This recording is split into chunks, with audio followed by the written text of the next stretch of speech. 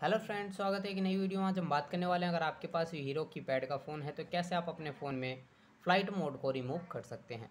तो आज के वीडियो में यही सिखाएँगे और इस चैनल पर पहली बार आए हैं तो चैनल को सब्सक्राइब, लाइक, बेल आइकन के बटन ज़रूर दबा दें, ताकि आने वाली वीडियो का नोटिफिकेशन आपको मिलता रहे।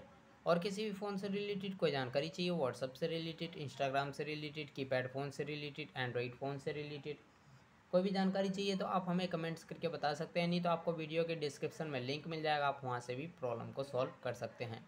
तो आपको जो है, इस वाले सबसे टॉप में लेफ़्ट साइड में जो बटन जो है, आपको इस पर क्लिक कर लेना है। क्लिक करने के बाद आपको ऐसा इंटरफेस देखने को मिल जाता है।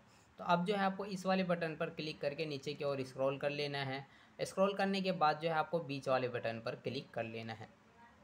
क्लिक करने के बाद जो है, आपको ऐसा इंटरफेस देखने को मिल जाता है। तो अब जो है आपको इस वाले बटन पर क्लिक करके नीचे की ओर स्क्रॉल कर लेना है। स्क्रॉल करने के बाद आपको यहाँ पर जो है आठवें नंबर पर देखने को मिल जाता है डुअल सिम सेटिंग्स तो उसके बाद जो है आपको बीच वाले बटन पर क्लिक कर देना है।